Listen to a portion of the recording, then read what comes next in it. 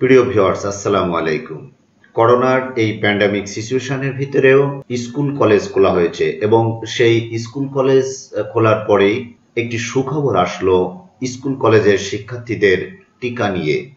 বলা হয়েছে, স্কুল কলেজের শিক্ষার্থীদের টিকা নিয়ে সুখবর। আর এ ধরনের হেডিং করেছে বাংলাদেশ জার্নাল। এই সংবাদের আদ্যন্ত আজকে আমরা দেখব। আশা করি ভিডিওটি প্রথম থেকে শেষ পর্যন্ত দেখবেন। ভালো লাগলে লাইক, কমেন্ট, শেয়ার করবেন। সেই সাথে আমার চ্যানেলটিকে সাবস্ক্রাইব করার অনুরোধ দেখে চলুন। বিস্তারিত জানা যাক। শিক্ষা প্রতিষ্ঠান খোলার পর স্কুল ও কলেজ শিক্ষার্থীদের টিকা নিয়ে সুখবর দিয়েছেন স্বাস্থ্যমন্ত্রী জাহিদ মালিক।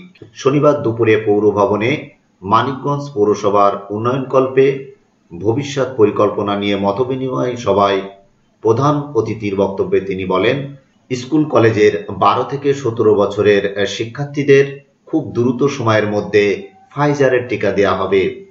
স্বাস্থ্যমন্ত্রী বলেন, আগামী পনেরো বিশ দিনের মধ্যে এসব বয়সী শিশুদের টিকা দেওয়া হবে। যে টিকা এই বয়সের ছেলে মেয়েদের দেওয়া সম্ভব, সেটাই আমরা দেব। আমেরিকার ফাইজারের টিকা দিয়ে শুরু করব।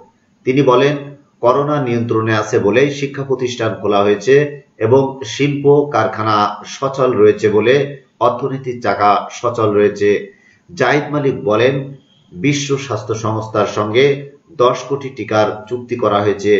বাংলাদেশ সহ পৃথিবীর আটটি দেশকে লাল তালিকাভুক্ত করেছিল যুক্তরাষ্ট্র। তবে এখন সেখান থেকে আমাদের দেশের নাম বাদ দিয়েছে যুক্তরাষ্ট্র।